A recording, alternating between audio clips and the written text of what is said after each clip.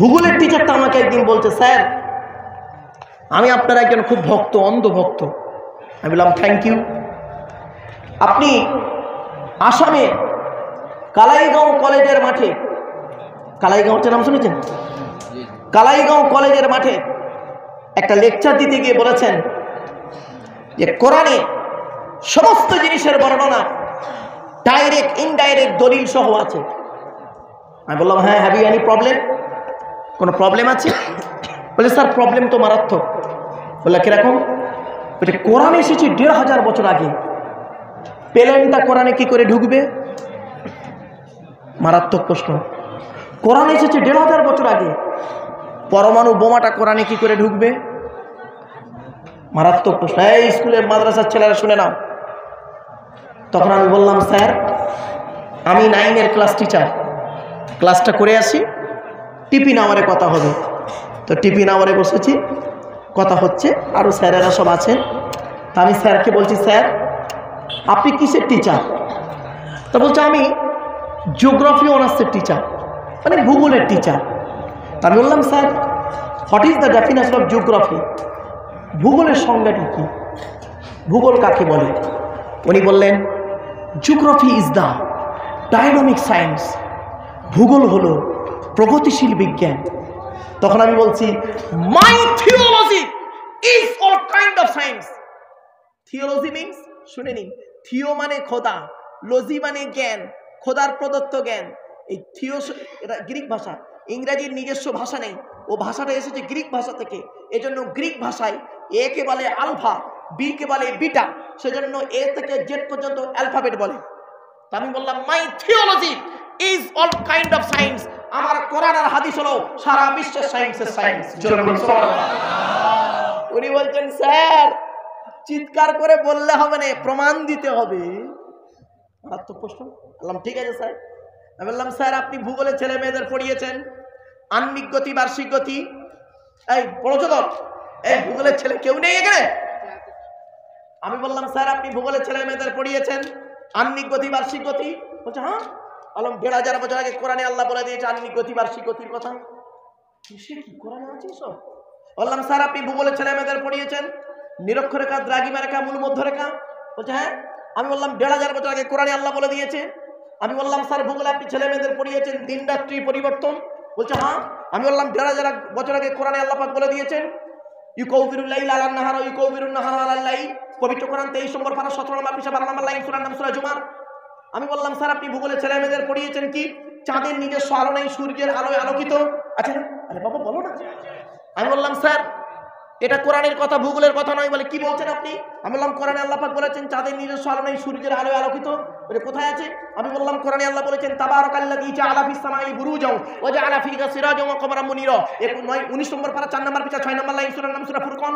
আল্লাহ বলছেন, আমি আল্লাহ বরকতময় সূর্যকে প্রদীপ করেছি, চাঁদকে চাঁদকে নূর বা মুনির করেছি। নূর বা মুনির শব্দ অর্থ হলো প্রতিফলিত আলো, ধার করা আলো। এসব কোরআনে আছে?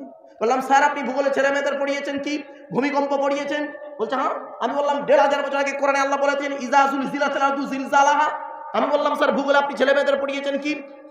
পাহাড় পর্বত, মালভূমি, সমভূমি? বলছে হ্যাঁ দেড় হাজার বছর আগে আল্লাহ কোরআনে বলেছেন বলে জিবাল আওতাদা। আমি বললাম স্যার আপনি ভূগোলে ছেলে মেয়েদের পড়িয়েছেন কি বায়ুমণ্ডলের স্তর ট্যাটোস্পিয়ার এক্সোস্পিয়ার আইনোস্পিয়ার বলছে হ্যাঁ আমি বললাম দেড় হাজার বছর আগে কোরআনে আল্লাহ পাক বলে দিয়েছেন إن الله يمسك السماوات والأرض أن تزولا ولئن زالت إن أمسكهما من أحد من بعده إنه كان حليما غفورا 22 নম্বর পারা 18 নম্বর পৃষ্ঠা 1 নম্বর লাইন সূরার নাম সূরা ফাতির এসব আছে আমি বললাম শুনুন এই আয়াতের তাফসিরে বলা হয়েছে যে আসমান আর জমিনের মাঝখানে একটা স্তর আছে, ওই স্তরের উপরে যারা থাকবে মহাশূন্যে ভেসে বেড়াবে স্তরের নিচে যারা থাকবে মাটি তাদের আকর্ষণ করে রাখবে। কোরআনের এই আয়াতকে নিয়ে কে গবেষণা করল? ষোলোশো পঁয়ষট্টি খ্রিস্টাব্দে আপেল গাছের তলায় গালে হাত দিয়ে বসে বসে চিন্তা করলেন। Second scientific in the world Sir Isaac Newton ভাবতে ভাবতে মনোদর্শন শক্তি আবিষ্কার করে ফেলল। তাই নাকি? বললাম, আপনি ভূগোলে ছেলে মেয়েদের পড়িয়েছেন, পৃথিবীর আকৃতি কেমন? পৃথিবীর আকৃতি প্রথমে লোক মনে করতো কি জানো পৃথিবীটা সমতল, এই জন্য বেশি দূর বেড়াতে যেত না। যদি পড়ে যায় পনেরোশো সাতানব্বই খ্রিস্টাব্দে ফ্রান্সিস ড্রেক উনি করলেন কি, জাহাজে করে সারা পৃথিবী ঘুরে এলেন। এসে বলছেন, এই পৃথিবীটা না সমতল নয়। বলে, কীরকম? বলে, দুটো মেরু চাপটা কমলা লেবুর মতো, পেটটা ডাবা, দুটো মেরু সুমেরু কুমেরু চ্যাপটা, পেটটা ডাবা, কমলা লেবুর মতো। তারপরে উনি কোরআন পড়তে লাগলেন। কোরআনে আল্লাহ পাক বলেছেন, পৃথিবীর আকৃতি কেমন? ওয়াল আরদা বাদা জালিকা দাহাহা দাহিউন শব্দের অর্থ হলো উট পাখির ডিমের মতো। আমি বললাম, স্যার, ভূগোল আপনি ছেলে মেয়েদের পড়িয়েছেন কি? যে একে চন্দ্র দুয়ে পক্ষ তিনে নিত্য চারি বেদ পাঁচে পঞ্চমান ছয় ঋতু সাথে সমুদ্র আটে অষ্টমস্ত নয়। তাতে তাতে বলো না বাবা। নয় কি নয় নক্ষত্র কটা? নটা নক্ষত্র তাই তো? এখন আর নটা নেই। নতুন যারা ভূগোল পড়ছে আধুনিক ভূগোলে দুটো নতুন গ্রহ তৈরি হয়েছে। একটার নাম ফলকান আর একটা। এগারোটা গ্রহ নক্ষত্র তৈরি হয়েছে। আমি বললাম স্যার দেড় হাজার বছর আগে আল্লাহ কোরআনে এগারোটা নক্ষত্রের কথা বলেছে। বলে, কোথায়? বললাম শুনে নিন। আল্লাহ পাক কোরআনে বলছেন, ইদ ক্বালা ইউসুফু ইয়া আবাতি ইন্নী রাআইতু আহাদা আশারা কাওকাবা ওয়াশ-শামসা ওয়াল কামারা। 12 নম্বর পারা 14 নম্বর পৃষ্ঠা 14 নম্বর লাইন, সূরার নাম ছিল ইউসুফের 4 নম্বর আয়াত। ইউসুফ বলে একজন নবী ছিল, তার বাবার নাম ছিল ইয়াকুব নবী। ইয়াকুব নবীর বাবার নাম ছিল ইসাক নবী। ইসাক নবীর বাবার নাম ছিল ইব্রাহিম খলিলুল্লাহ আরে স্যার, কিছুক্ষণ পরে মুখের দিকে চেয়ে বলছে, স্যার, কোরআনে ভৌত বিজ্ঞান আছে? "আছে তো।" কি নেবে বাবা? তোমরা খালি কোরআনটাকে মনে করো। মলি সাহেবরা পড়বে হ্যাঁ? এ কোরআন কিনে গবেষণা করছে কোথায় দেখো? কটা বলব? এই ভৌত বিজ্ঞানের মূল জিনিস কি? ম্যাটার ম্যাটার ম্যাটারের দুটো মানে হয়। একটা ম্যাটার মানে ব্যাপার, একটা ম্যাটার মানে পদার্থ। পদার্থকে ভেঙে দুটো হয়। কি? একটা অণু, একটা পরমাণু। অণু কাকে বলে? পদার্থের ক্ষুদ্রতম কণা যাহা স্বাধীনভাবে বসবাস করতে পারে, তাকে বলা হয় অণু পরমাণু কাকে বলে? পদার্থের ক্ষুদ্রতম কণা যাহা স্বাধীনভাবে বসবাস করতে পারে না, তাকে বলা হয় পরমাণু।